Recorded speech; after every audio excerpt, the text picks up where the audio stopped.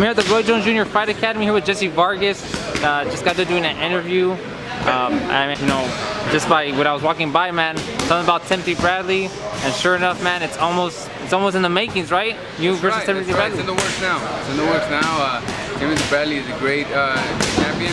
He's a great uh, fighter. You know, with a good with a good record, he he uh, took on some of the best fighters out there, and uh, he's a name that I'm that I'm looking forward to facing. You know, with him being at that, that elite level, and I think, and I know that I am at the elite level as well. I need more recognition, and he has it. So he can pass it on to me. Yeah, man, he's definitely uh, he's like the top fight, uh, fighter that you face so far. If you do and indeed face him, I mean, what does that mean to you in your career?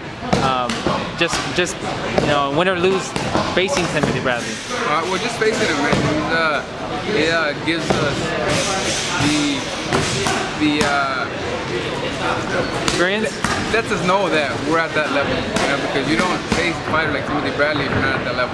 We're at the level, and now we just have to perform.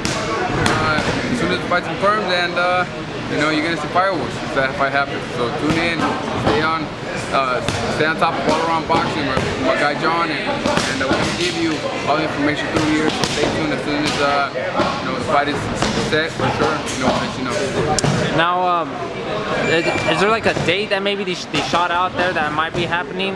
It's uh, being talked about late June. Late June. Uh, I'm, looking forward to coming, coming in maybe June 27th.